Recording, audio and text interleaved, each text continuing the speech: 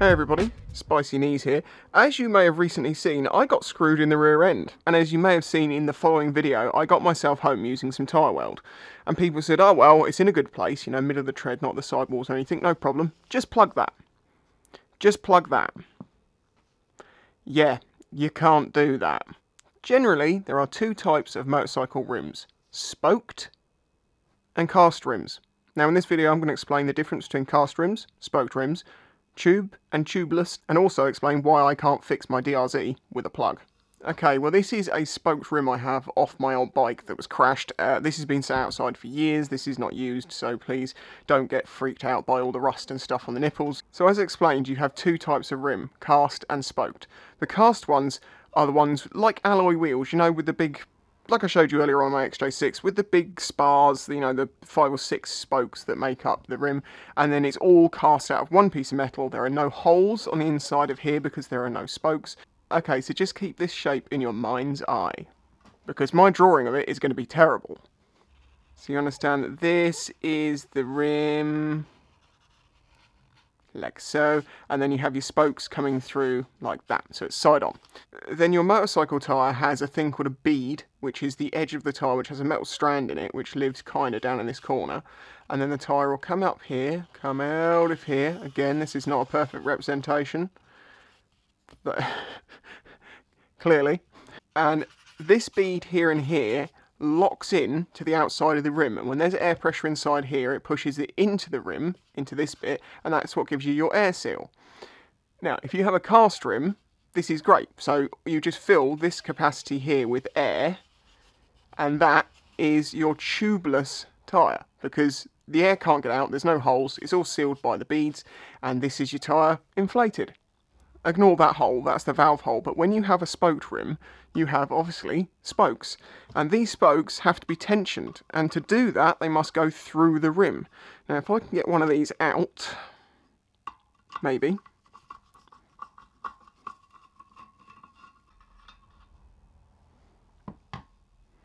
I'm not going to bend this spoke to get it out much. Okay. The spoke itself has got a mushroomed end on one end and a thread end on the other. The nipple is it's square so you can get a, uh, a, tool on it from the outside. It also happens, this one happens to have a screw head hole in the end of it, probably more useful for the factory putting it together. Uh, and it's threaded all the way through and there is a hole in there. You can see the hole? So, if you try to fill up this rim like you would with a tubeless tyre, Obviously, there's nothing keeping the air from coming out of each one of these holes. Now, why do you want spoked rims over cast rims? Basically, spoked rims are used on off-road bikes mostly because they are much better at taking impacts. Uh, because with the spokes, which are all done to an even tension, well, they're actually not necessarily all even, they're done to a, the tension that means that the central hub and the outside of the rim is true. That's why it's called truing a wheel, uh, and you make sure that it all runs in line when you have an impact in the ground, obviously these spokes can take a little bit of a bend, a bit of a flex. When you're going through corners, there is an amount that the, the spokes will allow this to all flex. Not a lot, but it can take out a lot of the jarring forces because things that cast metal don't like is impacts, because cast metal is normally quite brittle, which is why you'll see cast wheel or cast rimmed sports bikes if they have a bad crash, very often you'll see one of the wheels has just imploded because it's taken a really hard hit and it's shattered.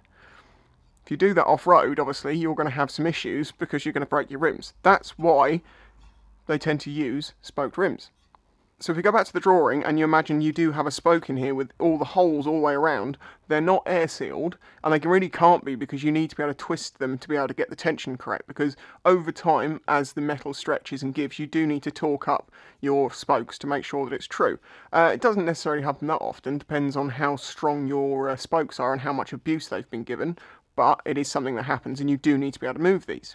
So that's why you have inner tubes, which is just a big rubber ring looking thing with a valve on it and a couple of locking nuts. And that basically lives inside your wheel. It fills up the gap entirely and it holds the air in. It conforms to the size. Uh, inner tubes are done in ranges of size, so this is, I believe, it's a 160 to a 180. So you can, that being the width, because obviously rubber stretches, you just have to fill that void. And that's the way you stop the air coming out of here. So cast, no holes, tubeless because it's holding its own air in, spoked, has holes, needs tube. So that is the two types of motorcycle rims that you get. Now I'm going to tell you about the third one, which is basically a tubeless spoked rim.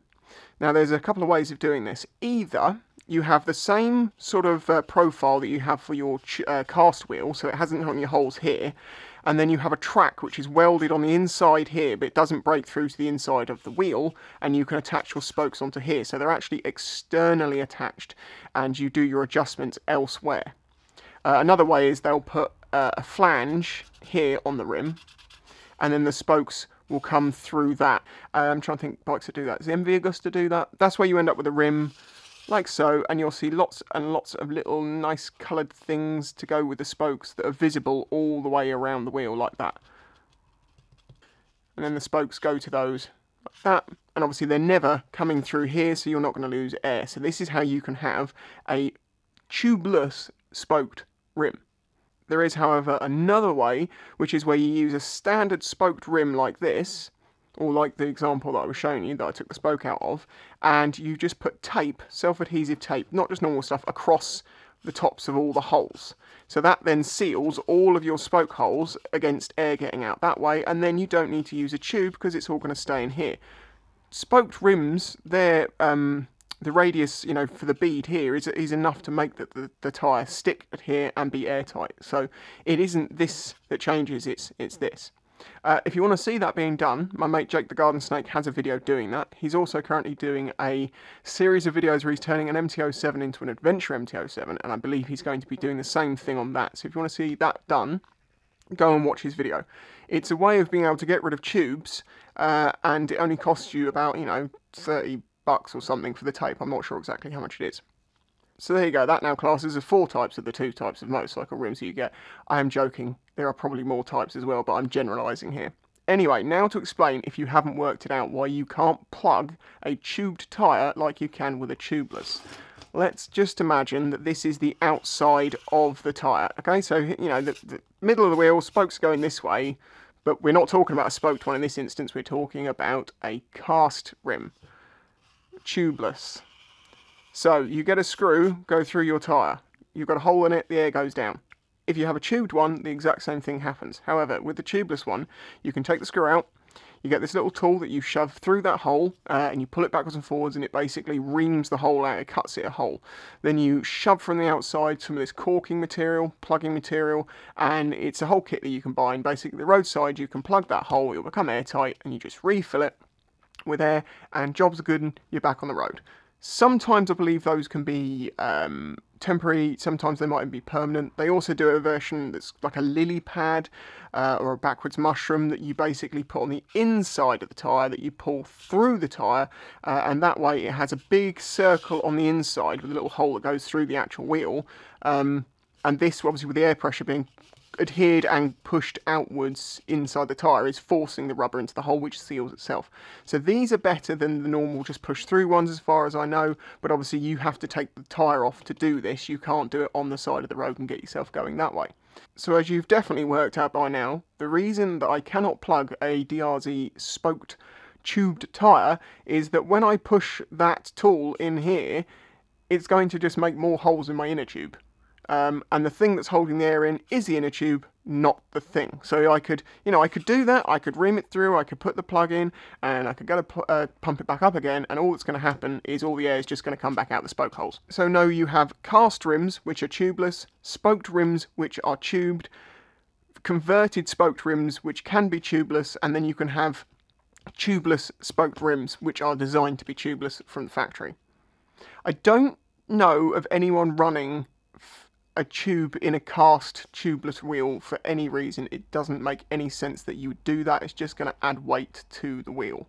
I think. Although in theory you can put an inner tube inside a cast wheel and then that gives you the option to take the inner tube out and put a new inner tube in there and pump it up um, without having to plug the hole on the outside but obviously that's easier than taking the whole wheel off so I don't see why anyone would do that.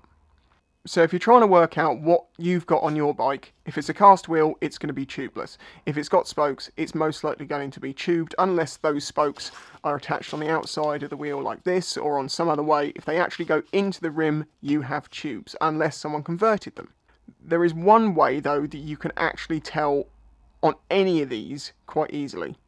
I think this always works. The valve for a tube tyre is actually attached to the tube and this has to protrude through that valve hole that I showed you earlier. On a cast rim, obviously you don't have an inner tube to hold onto a valve. All you have is a hole and then you have a separate thing which basically looks like this. You have your, your normal inflator bit, this bit, uh, and then it will have like a rubber piece like this. This is brilliant drawing. And this is the inside of your rim and then your dust cap goes on here. And that has a piece of rubber that comes through and then inside the rim it also has a piece like that and it basically gets sealed against the, um, the cast wheel through the pressure and through it being such a tight fit. And if on the outside of your rim you can see something like this with a nut holding it down, you're going to have a tube. If it's got one of these rubbery things, which I'm going to get some B-roll for, like this, then you've got tubeless. If you want to take your spoked rims and convert them into tubeless, go and check out Jake's video. I'll put a link in the description. And as I say, he is currently working on his MT uh, adventure bike conversion. And as part of that, he's going to be doing it again, I believe. Uh, but he already has a video up there where they did it the first time. And he's had them uh, like that for a year now and they haven't let any air out. It's worked perfectly. So there you go, I think that's everything you need to know as a base level about motorcycle rims, what types there are and why you have certain things. Please remember, if you found this video useful, to hit that like button. Subscribe if you're not, I'm on my way to 100k and I know 60% of the people watching this video won't be subscribers. And if you really want to help my channel, consider joining my Patreon for as little as a dollar a month. Thanks for watching, I'll catch you next time. If you enjoyed this video and the other content on the channel, please consider following the links in the description to show your support.